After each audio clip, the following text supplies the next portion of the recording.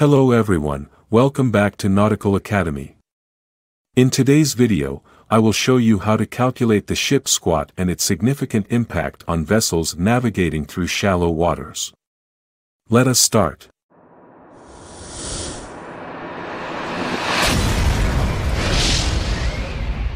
Ship squat refers to the phenomenon where a vessel experiences a bodily sinkage resulting in a decrease in the underkeel clearance due to an increase in the ship's draft as it moves through shallow water. Underkeel clearance or what we call UKC is the vertical distance between the vessel's keel and the seabed. This reduction in underkeel clearance is caused by the hydrodynamic forces acting on the ship. As a ship moves through shallow water, the flow of water around the hull is constricted, leading to an increase in velocity. The phenomenon is more pronounced at higher speeds and in shallower waters and confined waters. Confined waters typically refer to a waterway or area that has restricted dimensions, such as a narrow channel, river, canal, or any water body with limited space for navigation. There is no exact measurement for shallow water but it is defined as a depth of water that is 1.5 times the deepest draft of the ship or less. So the term shallow water depends on the ship's draft. Ship squat is influenced by various factors. The main factor is the ship's speed relative to the water. The squat varies approximately with the ship's speed squared. Reducing the speed will have a reduction in the effect of squat.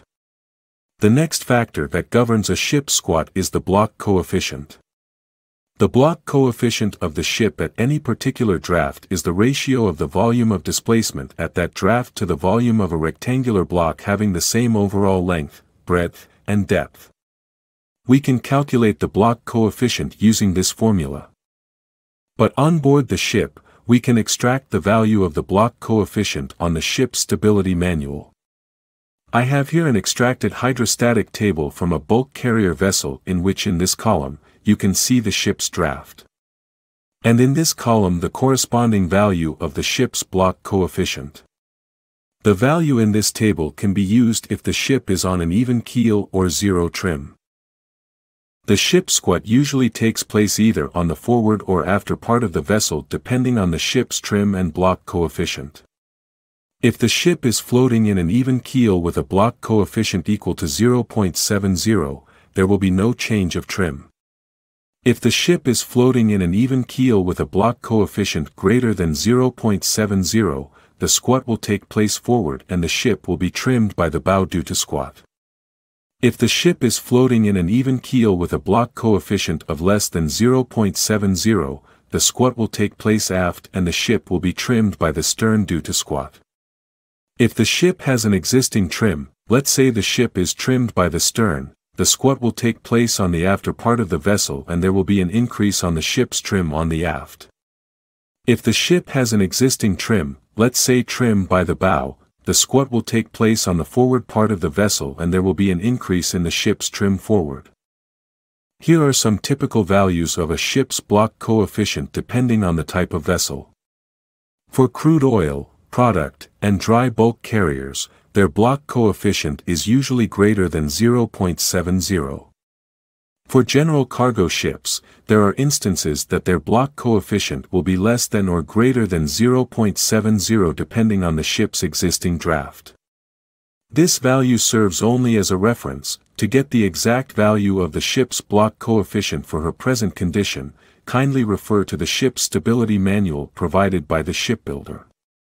The formula to calculate the ship squat is Squat in open waters is equal to the block coefficient, times the squared of the ship's speed relative to the water, divided by 100, the answer will be in meters. For confined waters, the formula is Squat in confined waters is equal to the block coefficient, times the squared of the ship's speed relative to the water, divided by 100, times 2, where CB is the ship's block coefficient. V stands for the ship's speed relative to the water. Let us solve this example. Calculate the ship squat in open and confined waters. Her trim before leaving the port is 0, with drafts forward and aft is 9.800 meters and her speed relative to the water is 11 knots.